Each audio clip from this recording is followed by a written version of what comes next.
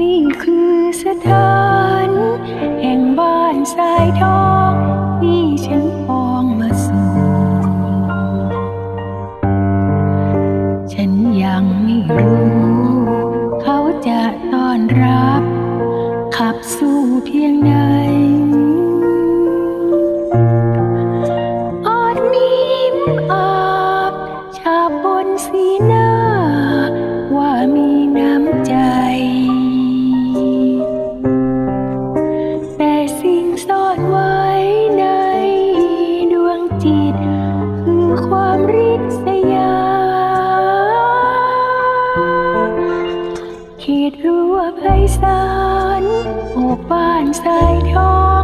คือแขนของพระเจ้า ขอจงเอื้อมและโอบกอดเราผู้ผ่านเข้ามา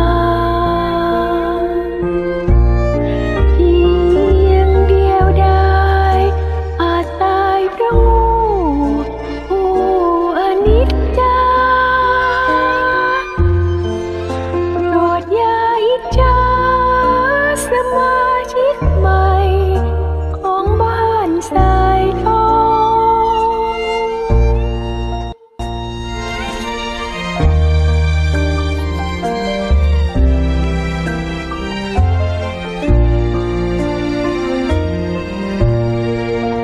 เขตรั้วไพศา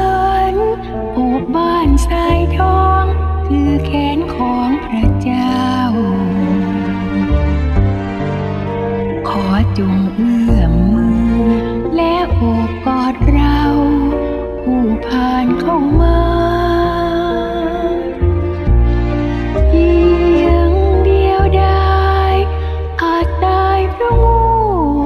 ผู้อนิจจาโปรดอย่าอิจฉาสมาชิกใหม่